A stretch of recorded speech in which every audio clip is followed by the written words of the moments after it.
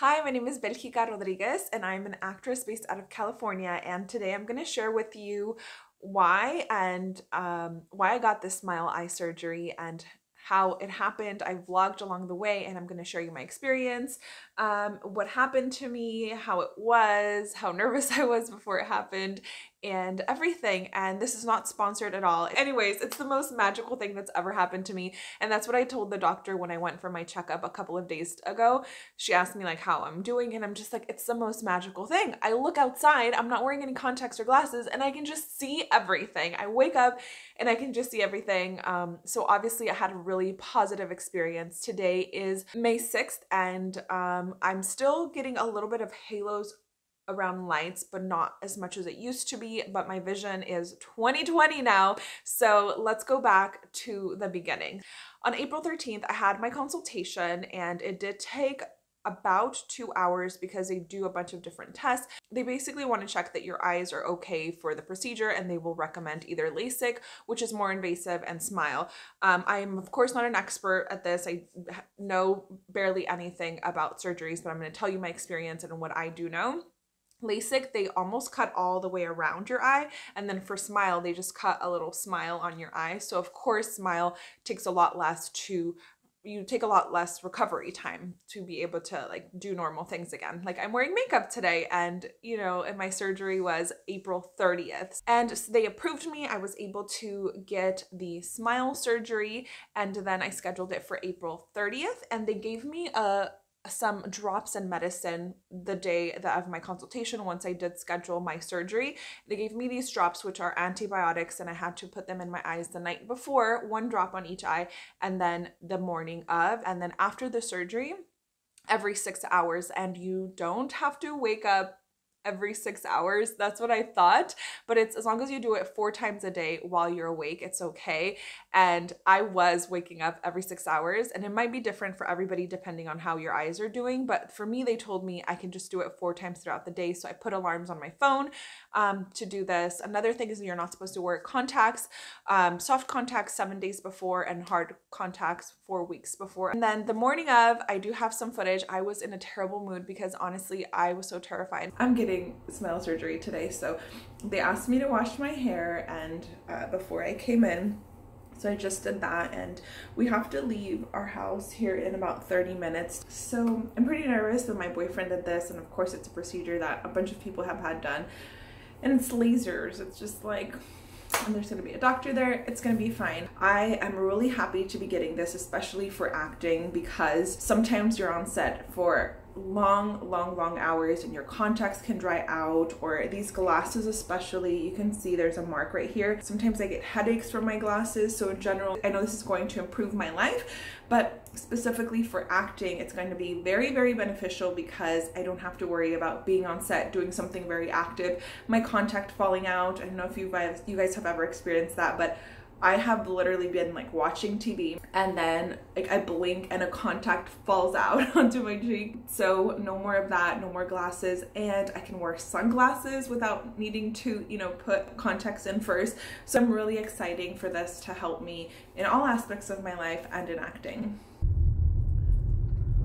We're on our way to the office um, to get the surgery and I am super nervous. I'm in like a terrible mood though I know it's going to be fine.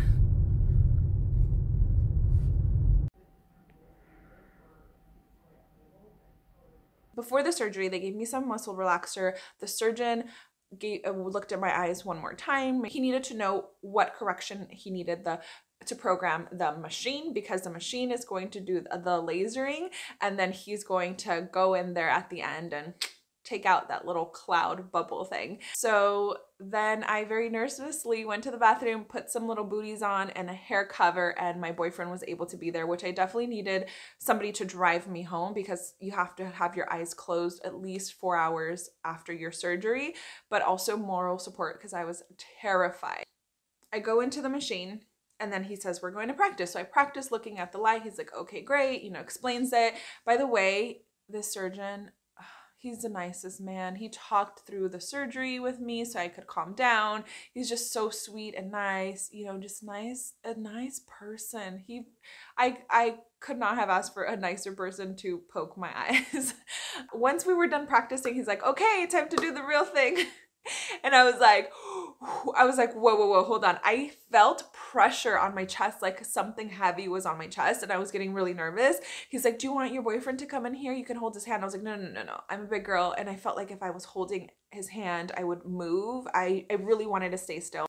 I I calmed down and then he did it. The second eye took a little bit longer, I think. Um, they had to put more numbing medication because they did put numbing drops in my eyes and even tested my eye to make sure I didn't feel anything, which I could see things. And I was like, I don't know if he's like coming at me or what, but you get numbing uh, drops in your eyes and it works super fast because they go and test it and then they put some metal things. I think they were metal. I couldn't see at this point um, that was really disorienting not being able to see for a while but um, you know during the surgery but he opened it up with like pried it open with something and then tested it and then the machine put some kind of suction on. There's a countdown while the laser it's doing its thing. After the laser is done super cloudy you can't see anything. Um and then he goes in there and as he goes in there he's just chatting you up. He's really making you comfortable. And then as we're talking, he also tells me, okay, great job. You're 30% done, 50% done, 90%.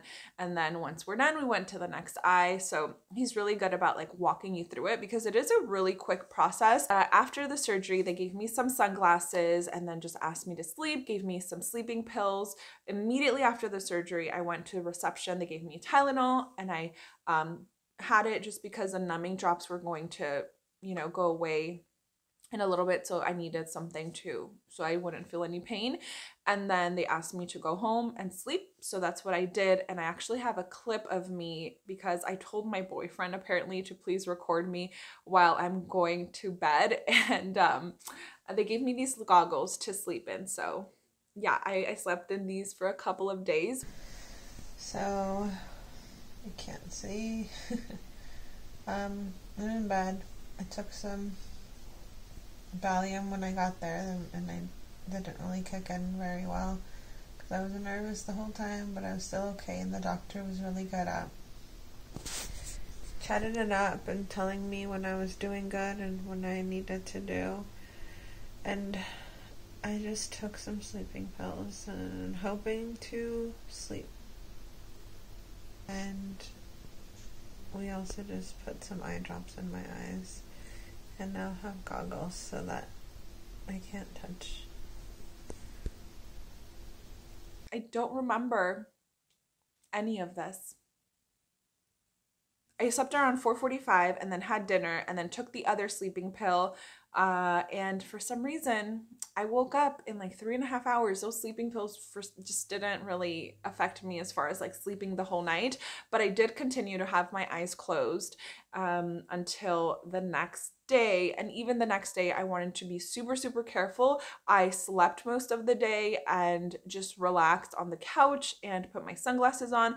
We did go on a quick walk just to get, you know, some blood flowing in my body but when i went on the walk i had um, a hat on and some glasses on and just was trying to not put any light in my eyes because it was pretty uncomfortable. But as far as the recovery process you know just taking care of your eyes not rubbing them because they're recovering putting in your antibiotic drops and then they also gave you these artificial tears which is like a more slimy version of water. I'm not exactly sure what's in here but these are Oasis Tears. I love these. Whenever my eyes get dry, I just have to put a couple of drops in and um and then my eyes feel so much better. Almost a week later, my right eye is still from the beginning has been more dry than my left. And then I had my checkup on Tuesday. I just got to the doctor's office for my post-op look up look post-op appointment. The fact that I can see things, like I can look far away and be able to see them without having contacts or glasses on, like it's mind-blowing to me that they just put lasers and then the surgeon went like boop boop and it's done. So magical. I'm so grateful I was able to do this. Wow, this is the most magical, most amazing thing I'm so dramatic, but really, I'm just so excited to be able to do this. So I'm gonna go into my appointment right now and hopefully they say everything is good. I just got done with my um, post-op appointment and I love Dr. Tran. She's the best. She's so sweet and awesome. Um, she's one of the doctors that will see you before and after your surgery, but um, I'm great. I'm fully recovered as far as like the healing process of my eye. And she said I can wear makeup, I can wash my eyes, of course, like not scrub, um, but I can lightly, you know, massage the areas to clean it. I can wear makeup, I can stop wearing those sleeping goggles, but I'm basically done healing. She just checked my eyes and I'm at 2020. so exciting. Oh my gosh, I definitely recommend this. This is super expensive, not something you need to do by any means, but it's something that if you can do, it's so cool. I much, much rather spend, you know, thousands of dollars on my eyes and being able to see without contacts or glasses than spend it on like, I don't know, jewelry or what else do you spend that much money on? Nothing. I never spent this much money. Um, I guess Invisalign, that's the other thing that cost pretty much the same as this. New eyes, new teeth, who this? I'm so lame. Okay, I'm so excited um, about this. Yeah, so happy. Really excited to be able to, you know, just throw some makeup on and start filming or when I go on set I don't have to worry about contacts or glasses so I know that's definitely going to help me when I'm working so so much um, because it's just a pain, you know, it's just like, it's such a luxury to be able to do this for sure. Um, but I say if you have the money, I recommend it. If you don't have the money and you can maybe save up for it in the future, um, definitely do it. Uh, the company that I went with was IQ Laser Vision. I know they are a pretty large company. I know they have offices in at the very least California, maybe other places. I will make sure to leave a link in the description so you guys can check them out. If this is something you're interested, like I said, not sponsored at all. And if IQ Laser Vision ends up giving me a code, I will definitely put it in the description for you guys. Um, but thank you so much for watching. I'm so excited to be able to see without. Anyways, thank you. And at the end of every video, I feature another channel. This is today's video. If you would like to be featured on my next video, make sure you're subscribed, like this video, and leave me a comment.